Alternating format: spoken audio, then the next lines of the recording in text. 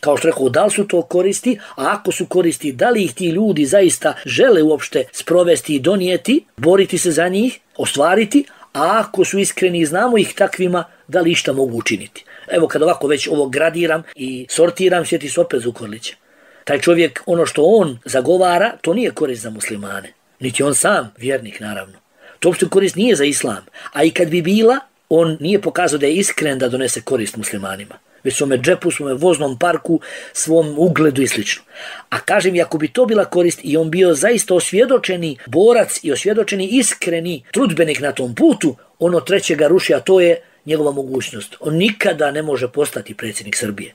On nikada ne može postati on ni njegov čovjek gradonačelnik Beograda. A ako bi i postao, on nikada Srbijom ne može zavladati osim da bude u odori i u stolici Aleksandra Vučića. Znači može jedino, nek se zove Muamer Zukorlić, jednog gradonačelnik Londona, ali London je demokratski, zove se kako se zove, neki nazovi musliman, Sadih Khan, Sidih Khan, tako nešto, nazovi musliman, gradonačelnik Londona. To je zaista velika privilegija ili čast, ali Boga mi je odgovornost.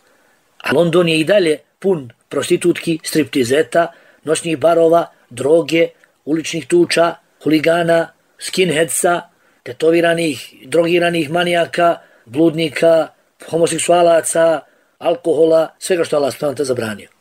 Šta je Islam dobio? To što je, kažu musliman, gradonačnik Londona, nisu dobili ni ti takozvani muslimani.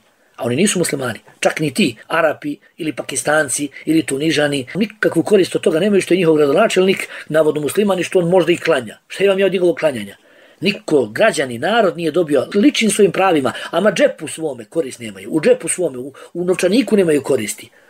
A naravno to ne bi smjelo da se čini zbog novčanika, ali eto, on ima koristi u novčaniku svom. On.